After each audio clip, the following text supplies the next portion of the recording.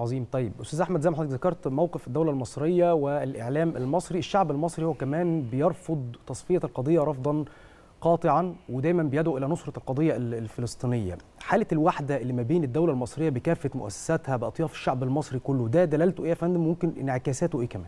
طيب آه الشعب المصري آه آه يمكن الباحث الفلسطيني اللي كان موجود مع حضراتكم في بداية هذه الحلقة أشار إلى أمر في منتهى الأهمية وأؤكد عليه. القضية الفلسطينية هي قضية عقيدية في قلب كل عربي. القدس مش عاطف مش فكرة عاطفة بس دي عقيدة. ينبغي على كل الأطراف الدولية أن تستمع لذلك. خليني أقول لك إن الأول مرة نكتشف ميزة لمواقع التواصل الاجتماعي. وهي القدرة على التعبير عن الرأي العام المصري والرأي العام العربي الغاضب للشعوب العربية تجاه هذه الأحداث. وخليني أقول لك أن هذه الضغوط اللي إحنا كنا بنتصورها وهمية على مواقع التواصل الاجتماعي لا غيرت سياسات دول وغيرت مواقف دول. وخليني أقول لك أن هذه الجهود على مواقع التواصل الاجتماعي واللي بيقوم بيها مجموعة من المؤثرين على مواقع التواصل الاجتماعي المصرية والشعب المصري كله قدرت تغير كثيرا وتعمل نوع من أنواع التضامن الشعبي على مستوى العالم. آه أنت بتشوف ده آه على سبيل المثال كانت في مباراة كرة قدم في اسكتلندا آه شفنا الجمهور الرياضي اللي بيحضر المباراة بيرفع الأعلام الفلسطينية، شفنا في قلب بريطانيا في المباريات الرياضية إزاي بقى في نوع من أنواع التضامن على الرغم من الموقف المعارض للسياسات الرسمية لدولتهم. خلينا نشوف الشعب الأمريكي وإزاي إن آه زي ما كنا بنتكلم آه إزاي الشعب الأمريكي ابتدى نفسه آه يعكس رأيه في من خلال استطلاعات رأي عام. يمكن آخرها كان استطلاع رأي جالوب اللي حضرتك كنت بتتكلم معايا فيه إن إزاي شعبية بايدن بتتراجع. هذا الحراك الشعبي اللي قدرت تخلقه وهذا التفاعل الشعبي اللي قدرت تخلقه من خلال مواقع التواصل الاجتماعي عمل نوع من أنواع الضغوط على الحكومات بالفعل.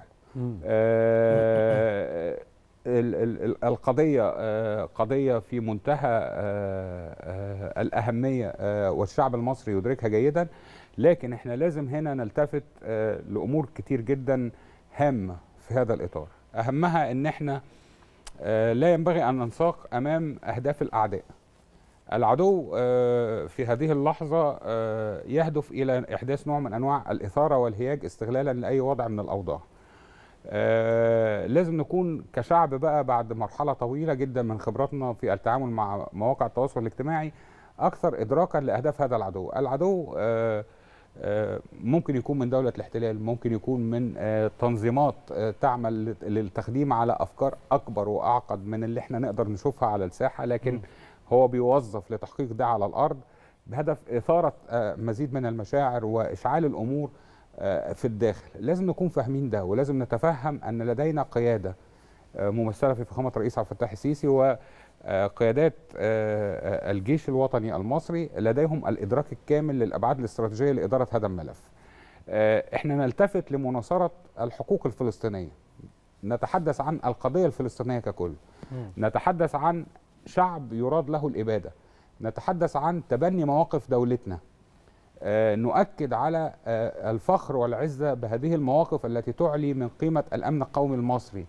ونسمع آه الكلام الصادر عن المؤسسة الرسمية مؤسسة الرئاسة ونسمع الكلام الصادر عن القيادات الرسمية في الدولة المصرية على المواقع الرسمية. المخصصة أو المنصات الرسمية اللي بيتواجدوا عليها سواء الموقع الرسمي المتحدث العسكري على مواقع التواصل الاجتماعي كلها موقع وزارة الخارجية المتحدث الرسمي باسم رئاسة الجمهورية. دي مواقع اللي المصريين لازم يلتفتوا ليها ولا ينشغلوا بغيرها. يعني لا تجري وراء أخبار بنسميها الفيك نيوز الدوارة اللي هو بيقدر من خلالها إن هو يعمل نوع من أنواع الاحتقان في الرأي العام والضغط على الرأي العام. في ظل الأزمات الكبيرة اللي بتحدث في أي دولة في العالم أو في ظل الحروب الكبيرة أو في ظل الكوارث الطبيعية الكبيرة الشعوب اللي بتبقى على تماس في دول على تماس مع منطقة الأزمة دايما بتبقى في لحظة نفسية صعبة جدا. ودي لحظة من المهم جدا إن إحنا نلتفت ليها كشعب مصري ونتفهم إن إحنا لازم يكون عندنا قدر من الثبات الانفعالي. ولازم نكون قادرين على تفهم أهداف آه، العدو من إثارة آه، آه، الغضب في هذه اللحظات. ونتفهم إن دولتنا تبذل ما تراه لازما وفي التوقيت المناسب لحماية الأمن القومي المصري. نعم. ونتفهم إن إحنا أعلنا منذ اللحظة الأولى لاندلاع الأزمة لاءات رئيسية لا للتهجير رفض الاجتياح البري رفض كل العمليات الإبادة اللي بيتعرض لها الشعب الفرنسي آه، الشعب الفلسطيني. التأكيد على آه، حتمية آه، العودة إلى طاولة المفاوضات. دي مواقف رسمية لازم نصر عليها وطالما استطعنا التأثير في الشعوب على هذا النحو إحنا قادرين كشعب مصري على عن طريق منصات التواصل الاجتماعي على إحداث مزيد من الضغوط عبر الشعوب ودي آلية مهمة جدا في اللحظة دي تدعم الموقف الرسمي للدولة المصرية. آه، قدرتنا على التأثير على الشعوب أنا شايفها آه، آه، سواء شعوب الإقليم أو شعوب آه، العالم. أنت مم. بتشوف الانعكاسات في الداخل الإسرائيلي بقى شكلها عامل إزاي. بتشوف حتى التفكك اللي ابتدى يصيب آه، الحكومة المصغرة اللي عملها نتنياهو. بتشوف الانعكاسات على إدارة بايدن. بتشوف الانعكاسات على الإدارات ال- ال- ال- ال- الحليفة اللي متبنية المواقف ده. وخلي بالك إن في اللحظات المهمة الدولة المصرية بتجري اتصالات مع أطراف قد لا تكون تقف على فهم كامل لحقيقة الأوضاع.